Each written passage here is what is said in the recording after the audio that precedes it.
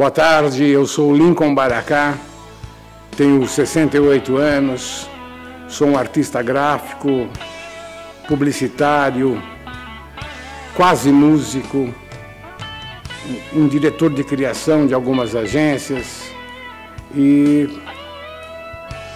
uma pessoa feliz. Eu tenho sentido o meu envelhecimento quase nulo, porque eu continuo na ativa eu continuo pensando, apostando, me mexendo.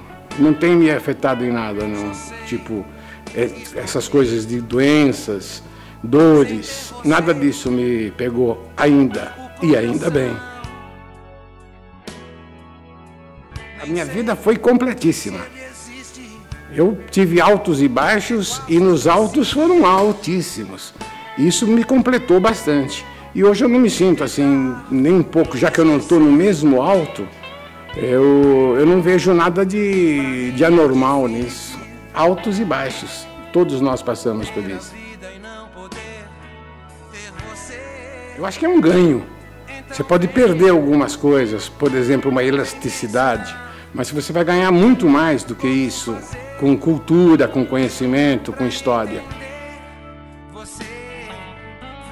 Descartado? Sim, eu já me senti descartado. Foi numa época em que eu, há uns oito, nove anos, onde eu estava no ápice, com clientes, com mídias, e de repente eu perdi isso. E aí eu perdi até os contatos, os amigos, essas coisas todas. E me senti descartado, sim, por não ser mais convidado para uma festa aqui, uma entrevista ali, uma conversa aqui as rodas, me senti descartado.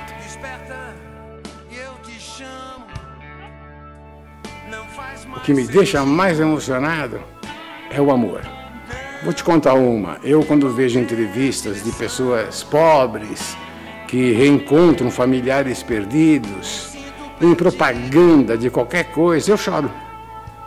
E não é exagero no que eu estou falando. Eu choro, eu engasgo, o nariz trava, cai lágrima.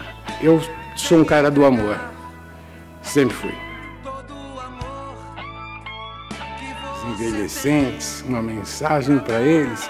Eu diria: perseverem, corram atrás, lutem, busquem. Se não aconteceu alguma coisa ainda na sua vida, uma coisa que você quer, ainda não acabou. Corra atrás que pode acontecer, sim. Boa sorte. Sejam felizes.